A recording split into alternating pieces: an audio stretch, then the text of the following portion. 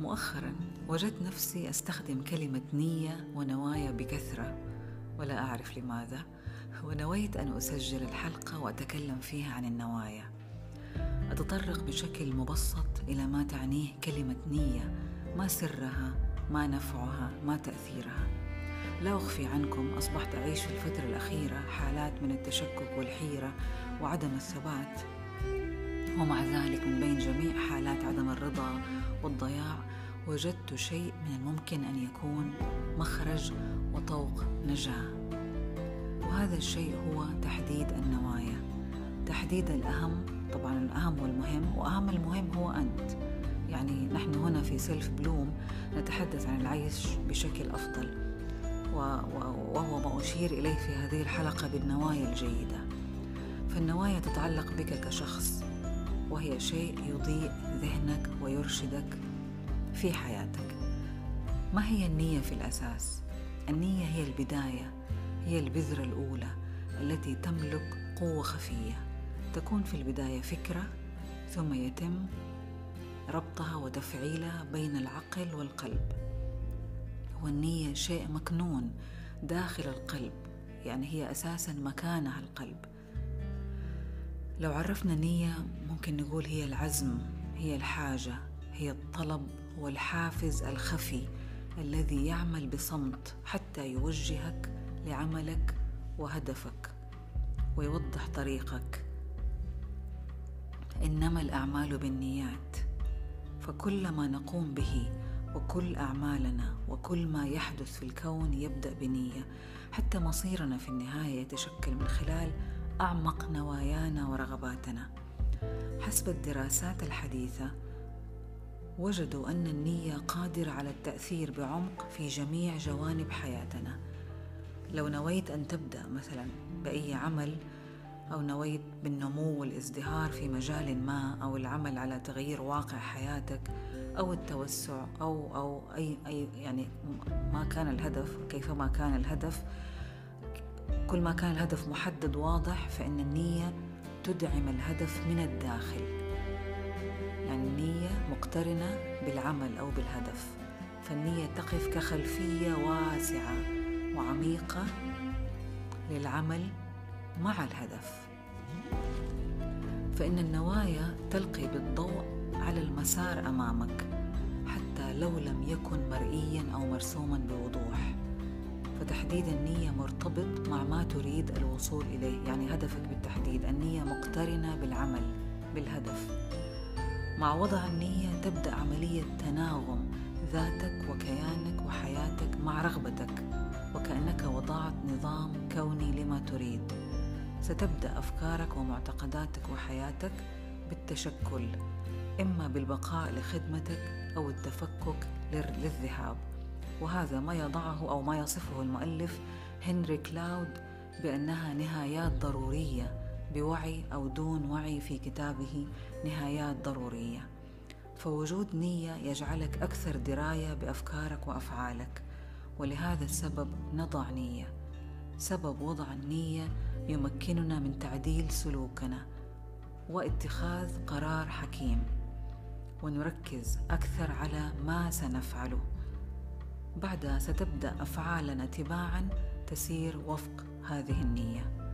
وكأنها خريطة وكأننا النية بترسم خريطة لعقلنا الباطن ليتتبعها وندرب عقولنا على اختيار أفكارنا.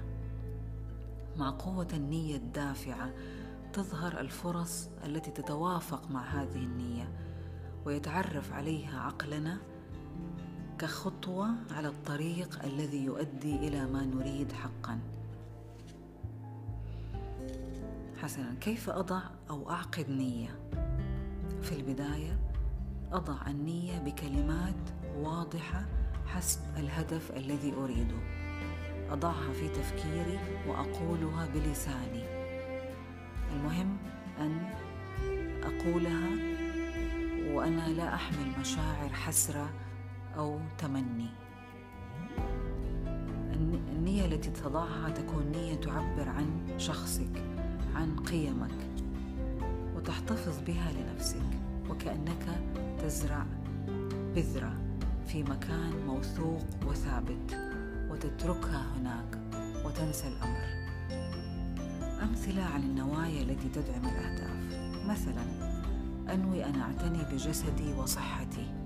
من خلال هدف محدد والذي هو عمل تمارين ثلاث أيام في الأسبوع مثلا.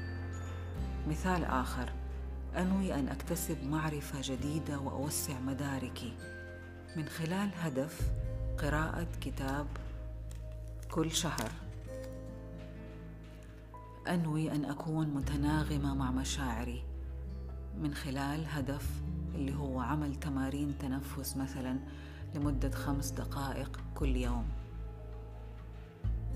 أنوي أن أتسامح مع نفسي والآخرين من خلال هدف التخلي عن أناس وجودهم لا يخدمني. وهكذا هي النية مقترنة بالعمل أو بالهدف الذي أريد.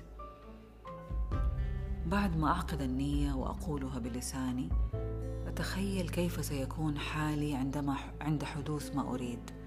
ما هي المشاعر التي أعيشها؟ والمشاعر الجيدة تساعد في تحقيق النية.